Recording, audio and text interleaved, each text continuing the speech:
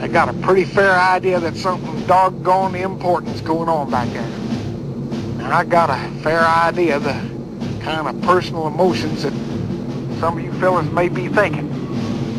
Heck, I reckon you wouldn't even be human beings if you didn't have some pretty strong personal feelings about nuclear combat. But I want you to remember one thing. The folks back home is uh, counting on you, and by golly, we ain't about to let them down.